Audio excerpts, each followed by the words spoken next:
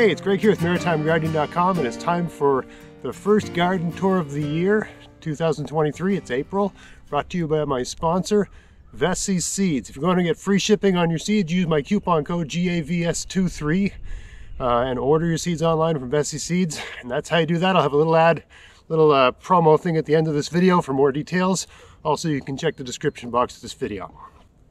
So, it's around the middle of April right now, and uh, few things growing in the garden, few things planted, but still it's quite cold. And, uh, you know, there's a lot of things we just can't put in the ground yet, but we've got a few things going on. But the main thing I want to show in this video is just all the changes, the complete reorganization of this garden, which is like 99%, well, maybe 95% complete right now. Uh, last year, towards the end of the gardening season, I just decided everything has to be moved. I don't like where anything is. This needs to be completely redone. And it was an overwhelming project and I got a good portion of it done uh, before freeze up. And I've spent the last month or so, ever since things thawed out, uh, trying to finish it up. So with no further, further ado, let's go have a look and let me show you everything that's happening here. so here we are in the old gold, the original goldfish pond. The fish are still in and I haven't moved them yet. I don't have the new pond ready yet. I want it perfectly ready before I I move them. And even when I move them, I'll probably move half, see how they go for a week, move another half. Because the long-term goal is to fill this in. Because uh, you don't want a hole full of water uh, with no fish in it. Otherwise, it'll just get full of mosquitoes and stuff like that. um, anyway, you can't see them because of the glare off the water. But all the goldfish are down there, swimming around. Um, they survive the winter just fine. All right. Now, first major change to the garden I don't know if you can tell, but I took this apart and put it back together again. I had it like in divided into like separate beds. And I was like, why do I have this in separate beds? It's just one big bed. I can I can just I can plant different things in it. It doesn't have to be separate beds. It just uses less wood and easier to put together. Right, all this is just pegs in the ground and dead tree logs with soil in it. Uh, there's nothing planted here yet. This is going to be mostly potatoes, I think. I've also been kind of uh, vicious so I mean, I got a tree here, right? I got a, I got a birch right there. I sort of lopped the top off of it. And there was a big spruce here, which my wife was very upset, but I killed that. Just so that this garden can get more, more sun, right? So I can, this is the little bed outside of my garden. I normally grow potatoes here, but I also try to grow squash and the squash grows but I've noticed every year the squash grows a little less well because there's less sun so I've, I've, reduced the number of trees uh, right next to this garden. Hopefully it'll get more sun and be more productive. You can see there must have been some garlic in there because these are some garlic greens. Um, I'll probably just pull them because this is not supposed to be a garlic garden. I've grown garlic here from time to time. It just doesn't grow as well as it does in other beds where the sun is fantastic right? You want any sort of onion, garlic, onion, whatever. You want it to get as much sun as you can get if you want to get good size. Anyway, moving and I'm going to change my angle here because the sun's sort of directly in my eyes here, but just a quick scan over the garden, right? She's looking good. I don't know what the best way to show you everything is. Um, this bed I've sort of redone, added some new logs, made the bed, brought the bed this way a little bit more because I got all this space here. It's sort of being unused. And I thought, why not make this bed a little bit wider this way, right? Um, so this is going to be uh, Swiss chard, onions, and Brussels sprouts. I think I got Brussels sprouts planted under this here. I don't know if they've germinated yet. looks like some of them might be up. Um, yeah, it looks like some of them might have germinated. Um, so it's a bit early for planting things like that. I mean, if you watch my planting schedule video, I plan to do a shorter video, shorter version. I did a podcast on my whole planting schedule idea based on the dandelion. Uh, but that's like 45 minutes long. I plan to do a, sort, a short version of that. So stay tuned for that. I'll be doing that soon. But anyway, the idea is that there's some things you plant when, they, when you see dandelion greens. There's some things you plant when you see the yellow dandelion flowers. And there's some things you plant when you see the white dandelion flowers. That's that's it. That's the that's the schedule. so the whole thing's just based on dandelions. Um, anyway, Brussels sprouts are something you should plant when you see the yellow flowers. But under a little, you know, most most of these things you can plant them a bit earlier if they're under some sort of protected microclimate like that. Um, so that's Brussels sprouts, and that'll be the Swiss chard over there. Um, nothing planted here yet. This, if you remember last fall, I planted some winter rye. This is the winter rye. Okay, so I don't, you know, this is just continue to grow. The idea is for this bed to be potatoes and peas. So I've got to do some stuff to get it ready for that. I got to do a whole video on that, on how to deal with this, because I'm not going to till this in, because I don't have a tiller. but I got an idea how I'm going to make this all work. Um, so stay tuned for that. A relatively low energy way to turn this basically lawn into a nice garden. We'll see how it works. Bit of an experiment playing with this. I love the idea of just throwing a few seeds down and it basically turns into a mulch. Uh, I would have thrown these seeds down in um, uh, September or October, right? Uh, but uh, but then you get all this stuff growing. it doesn't, the winter doesn't kill it, right? It survives the winter. So you got to kill it somehow. Otherwise, you're just going to have a lawn. Um, strangely, I planted the same winter rye seeds here and none of them grew because as you can see I've got you see this hole right and this hole here right something some rodent and there's a hole over there now there's some rodent using this as an access I planted lettuce here weeks ago it looks like some of them have germinated but I mean, if I have a chipmunk problem, which is what I think I have, they might just be eating those. Chipmunks are they're terribly cute little animal, but they're uh, kind of indiscriminate in terms of their the way they treat your garden. Uh, this, uh, what's this called? Uh, French sorrel is growing great, coming in good. And this bloody dock coming in nice. I also started some over here. Uh, the bloody dock went to seed a year ago and it just started coming up in the, randomly in the walking path. So I moved these last, uh, that must have been September, or October. Right, so I got this pretty little bloody dock garden, just mulched with smashed up rotten wood. Uh, this garden I moved a bunch of uh, Egyptian walking onions into it. A lot of them didn't survive the winter. I may have planted them too late. But I have some that made it, and so they'll propagate. And the long-term goal is for this to be uh, just an Egyptian walking onion garden. I think like a 4x5 garden of Egyptian walking onions is all you're going to need, personally. um, garlic are coming in great over here, as you can see, right? And for those that, you know, have been watching over time, um, they, and a lot of people that planted garlic where I live, uh, we had a very, very warm fall. So a lot of people's garlic grew and then died when the winter happened, right? So most of the garlic in this bed was about six inches high when everything froze. And so, you know, I had a lot of people asking me, will my, will my garlic be okay? And I said, yeah, they'll probably be okay. And yeah, mine are fine, right? Everything's coming up fine, right? They're all doing just fine, right? Just nice, strong, healthy garlic. The odd spot where I got two growing, what happened there? Uh, anyway, they're doing fine. All the garlic are doing fine. Uh, a few months ago, I planted some, uh, what's it called? Austrian ground pea or something like that. Those are coming up here. Um, it was just a little experiment. Uh, I wanted to see how they worked. I think I might use some of these as a green mulch in um, September, right, uh, for the winter. Um, but, you know, I got other plans for this bed. This is all going to have to be uh, taken on. As you can see, I still got some parsnips growing from last year that didn't come out of the ground. You always miss it. When you grow parsnips, you always miss a couple. Usually little tiny ones, you don't notice them. And they come back the next year. You pull those, otherwise they'll go to seed, right? Um, and I can't remember if these were a hybrid variety or an open pollinated variety. So just pull them. Um, under this dome here, I got some, some spinach growing. I don't know if you can see it, but that's spinach right there. Right, so that's coming in okay. That's one spinach bed anyway. Uh, this bed is nothing. There's nothing growing here yet. There's nothing growing anywhere here. That There's some more winter rye.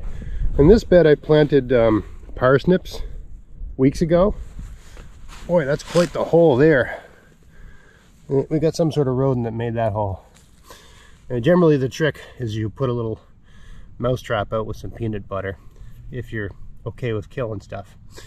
If you're not okay with killing stuff, you just learn to live with it making tunnels in your garden, which is another, you can do that too. do is good works for you. Anyway, this is a parsnip garden, right? They haven't germinated yet, but they're all planted. Uh, there's nothing planted here yet. Rhubarb, you can see, starting to poke up. This bed needs a little bit more mulch. As you can see, there's some of the soil's gone bare, but uh, yeah, rhubarb starting to come out, starting to come out to play. That's good. Uh, I had a bed here. This was where the uh, grapes were growing last year. Uh, and I had it like this sort of a waste of space. The bed just followed the fence and I thought, why not bring it out and make it bigger? So I've got parsnips planted here for this year. We'll see how that does. I had a giant grape plant that went all the way from that green bed all the way over to where, where that little bend there. It was an enormous grape plant and it would cast shade on this entire area of the garden. And so there was I was really limited in what I could grow. So I think by removing that, I should be able to grow some parsnips, right? Because they, they start growing in April and they grow all the way until November, right? So even though this isn't the sunniest spot, I'm hoping they get enough sun over all that time to grow. Uh, similarly, I augmented the bed here, right? I did a bit more work uh, digging up the pond and stuff like that. So this is incomplete, but this is just extra soil that I found from other parts of the garden, um, which I've put down here, right? This will probably be potatoes.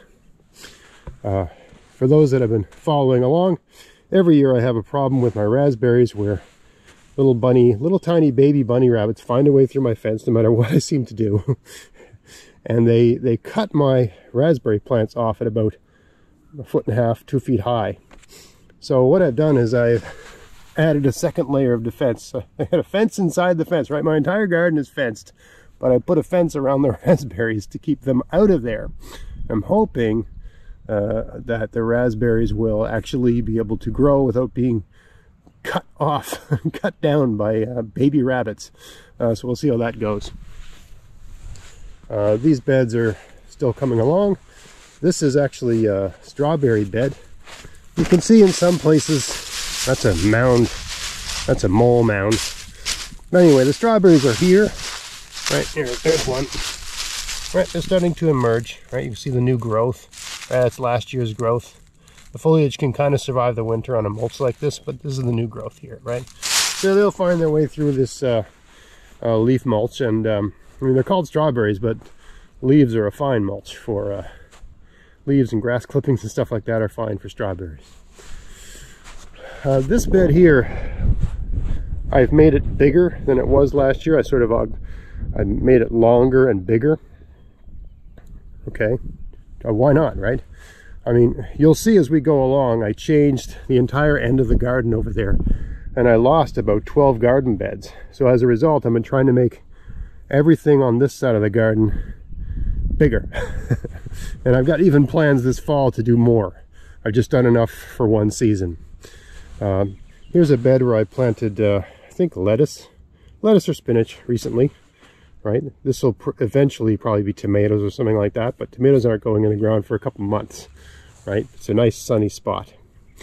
And we got more garlic over here. It's incredible. Whatever leaf mulch I used, it must have had a lot of maple trees. That's a maple tree. That was a maple tree. now it's mulch. anyway, I have to or just pluck those. But yeah, the, the garlic in this bed are doing doing just fine. And uh, you know, the mulch is helping everything except that it's the mulch is full of maple trees. But I mean, all you got to do is just go through and scrunch it up like that, right? It's not a big deal something I got to remember to do before the black flies show up. There's nothing worse than weeding when there's flies. Pond. So you can see we've done a lot of work with the pond. A bit of shade here, it's kind of hard to see. But what I've done is I've, and I'm going to do a video on this, so I'll, I'll just keep this really brief. But what I've done is I used the natural clay and some gravel and some of the walking path sand and Portland cement at a ratio of about six to one. One, one good shovel full of Portland cement, two sand, two clay, two rocks, right? I mix that up and I troweled it on about three inches thick. This is strong enough to walk on, right, without cracking it. And before I troweled that on, I put chicken wire down to, to sort of almost act like a rebar, a reinforcement, right? So there's a chicken wire all the way along here, and then I put the concrete over it.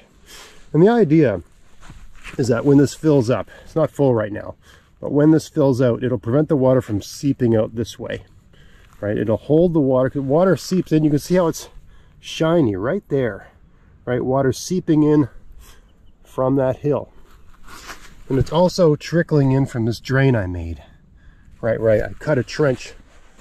You can't see right now, but there's a, a trench, uh, a trench all along that garden bed and gravel and perforated pipe. And it comes out here, okay? And there's just always a very slow, steady trickle of water coming out of there, right? You can see right now, right? Water, right? And when it rains, you can see that water coming in.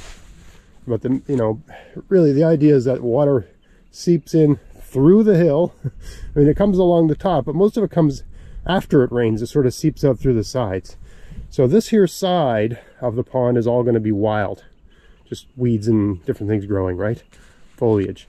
And I got a shallow part of the pond here where I'm hoping I can get some different kind of pond plants and cattails and whatever growing. And then it's deep right there, right? Um, and this concrete, which doesn't look, you know, it's not the most beautiful thing in the world. But when it's all done, my plan is to sort of have moss growing part way up it, right? So it won't look quite so uh, industrial, right? And hopefully this will just hold a good amount of water and give the the fish a, a, great place to live. That's the idea anyway, right? We're just a few more things to do today. I'm to work on this a little bit today. Uh, all these new beds, this is where the old pond had been, right? And this is where the trees were, right? So these will now be very, before I had a, I had a tree right there and a tree right there and had all these bushes along here. And it would cast shade on that side of the garden because this way is south. Okay, so now this whole part of the garden, which was unproductive, will now be very productive because it's a really, really sunny spot. All right, now this bed isn't in place yet because this pile of soil here was an asparagus garden and some of the asparagus are here but I can't see them yet they haven't emerged from the soil so when the asparagus emerge, I'll pluck, pluck them out, move them into this bed, right? And there'll be a bed here, which will be a dedicated asparagus bed, right? Probably grow something else with the asparagus, haven't decided what, right? So once the asparagus start coming up, and gonna, there's asparagus in other parts of my garden too, like they're, they're basically little little bits and pieces of asparagus all over the place. I'm going to consolidate it all into here, so it'll all be in one place and it should go pretty good here now because it's not underneath a tree, right? Because there was a big apple tree right here, right? That basically, I cut that tree down because I it never grew well. It was one of those trees that has five different types of apples on it. And it was just, it was too big and too old to move and it was in the wrong place. So now it's firewood sort of thing, right?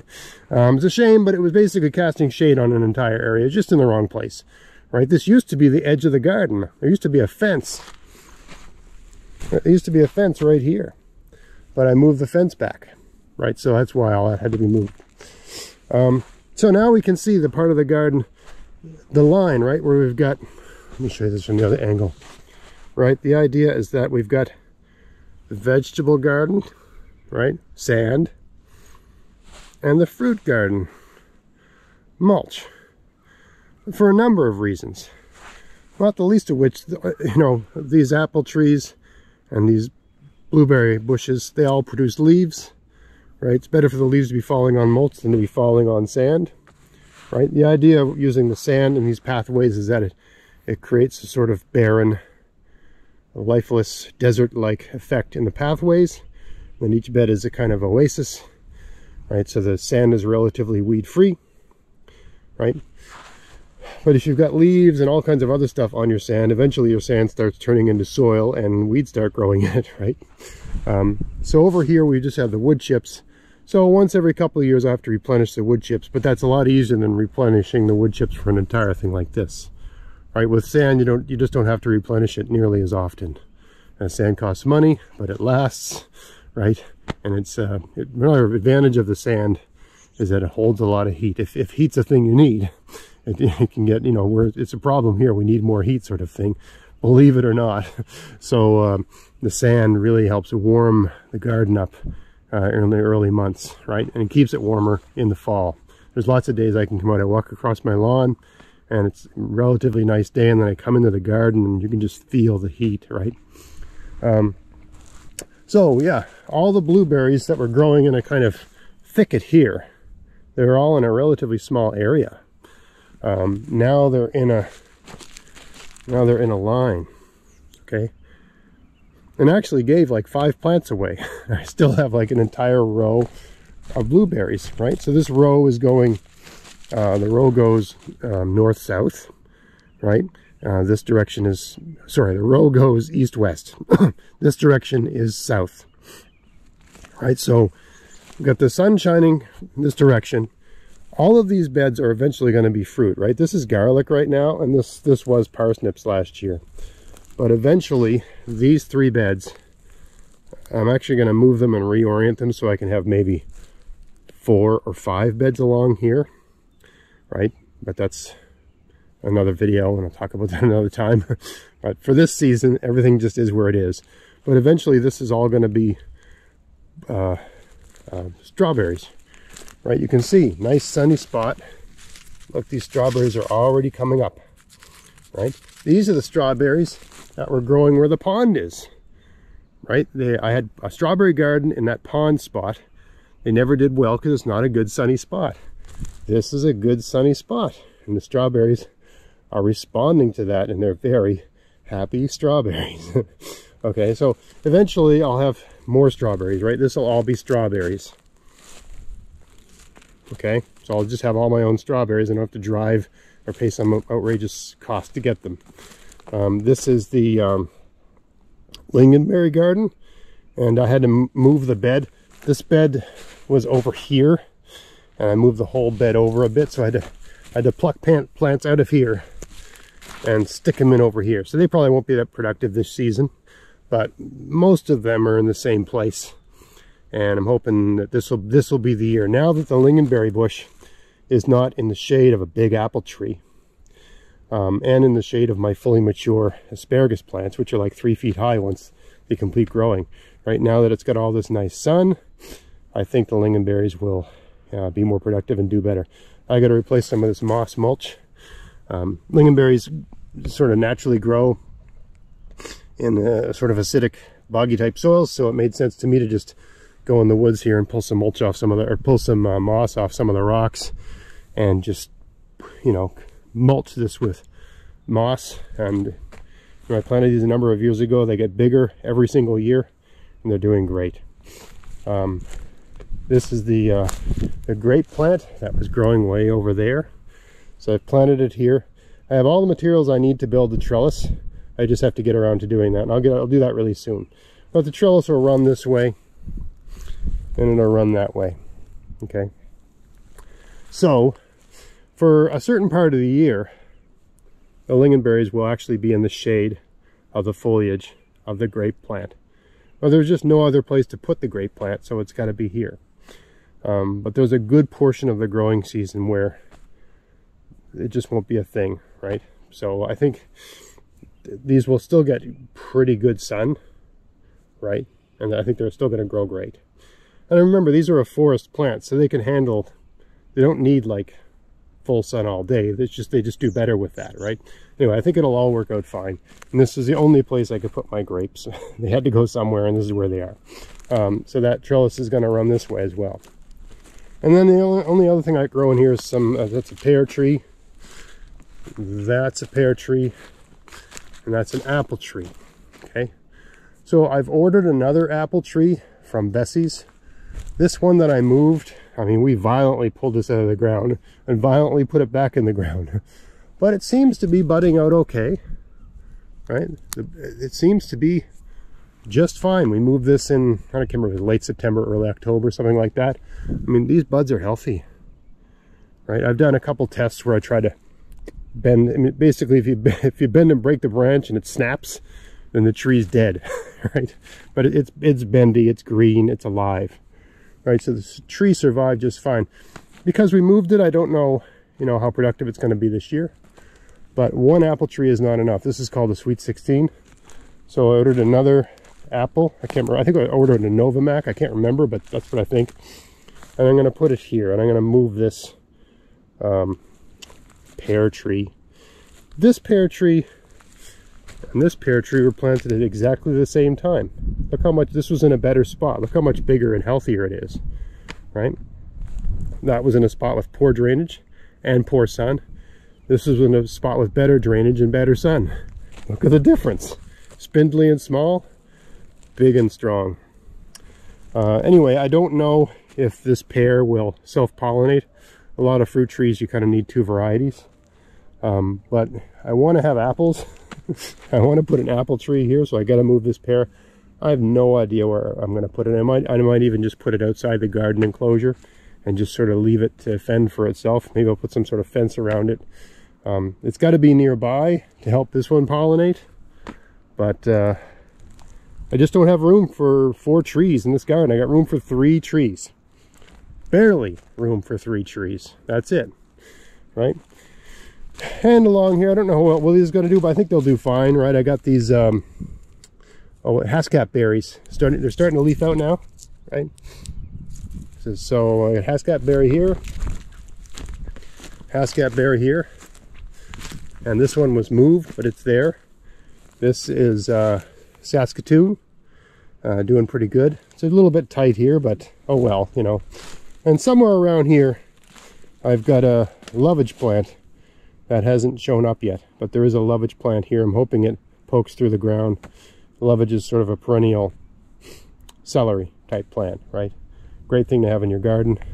I got one here somewhere, just don't know where it is. Up here, in this bed on the hill, uh, not the city, on the hill, the bed on the hill. Uh, I've got some uh, French sorrel. Some people were asking me if the uh, deer and animals get at it. Deer walk right by this all the time. They don't seem to ever want it. Uh, this time of year, the sorrel actually tastes pretty good. This is probably the best time of year to eat it.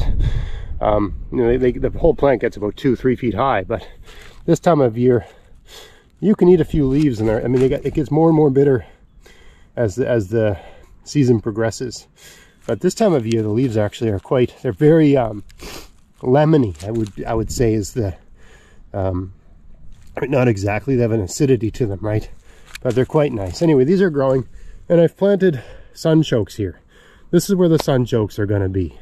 It's really sunny, right? It's a bed where I've, I've, always found it tough to get things to grow here. I'm not exactly sure why, if it's drainage or whatever. I got good soil here. Um, there's too much water or not enough, but the sunchoke is the most invincible plant in the world. It'll grow in anything. And it's a really sunny spot. So I thought, why not grow sunchokes here? Right? And that'll also sort of keep them from taking over my garden. A little bit of a bird's eye view type type thing, just to give you some perspective. Right, so you can see the wood chips, the fruit garden, right? And over here, sand, vegetable garden. And then this massive pond in the center of it all in the least productive part of the garden. Shady, and too shady and too wet to grow anything. I mean, things would grow here, but it's lousy, right? So now we've got a nice pond, right? So I'm really excited. And I, I got a lot of work to do to make this pond self-sustaining. It's just a hole in the ground. There's no liner. There's no nothing, right? Um, I got to bring some different ditch plants in and get some natural things growing in it and get the uh, cloudiness dealt with. Um, you know, that's a another whole nother video, whole nother topic. Uh, really easy fix. Um, but eventually this will be like this sort of really nice um, centerpiece. I mean, none of this matters for growing vegetables, but it is nice to have a pleasant place to be when you're in your garden. And of course, you notice the bench is not in the garden. I'm, I'm just staining that and cleaning it up sort of thing, uh, so it doesn't rot. Um, so that is the bench will be back in the garden for the next garden tour. Nothing I enjoy more than working really hard and then sitting on that bench and having a cold beer. I just love it, right? Or coming out with my coffee and sort of just sitting there for a minute and thinking, what am I going to do today? Um, but yeah, we put a lot of work into the garden. I'm really happy with the way everything's looking and I fully expect to have a fantastic garden this year because I'm making the, I think I'm making the best use of the space. So anyway, that's where we are, April 2023. A lot of changes in the garden, all for the better, I hope. a lot of work left to do, but the hard stuff's done from my point of view. I've done like everything that needed to happen to do all these changes was all hard stuff, and I didn't do it all myself. I had my kids helping me, and there's two young guys down the street. Um, they're sort of like one's a university student, the other's a high school student. I had them help me a couple times. Um, they helped me do they they they dug the hole in the pond for the most part. I did some digging, but they dug like I don't know 80% sort of thing, right? Um, they did a lot of the heavy stuff, right? They helped me out a lot. And I mean, I'm just talking, I paid two guys, I think I had them over here a couple days, basically a couple days work. So I gave two, two teenagers a couple days work. I paid them really well for their time um, and they saved my back and we got so much done. Um, you know, because when you got two people like that working for you, you've got to keep them busy. And also just being around young people, it really inspires you to sort of work a little harder and try to keep up. You don't want to feel uh, old.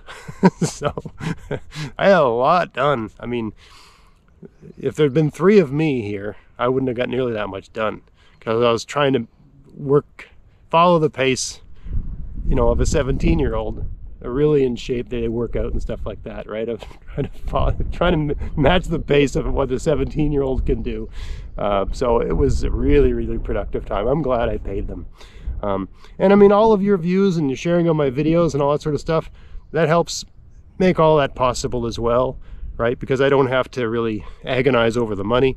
I can just pay them because it's it's all going to work itself out um, when I get the money from YouTube and that sort of thing. So thank you so much for being uh, viewers of my channel. For uh, you know when you can buying things from my sponsors that helps.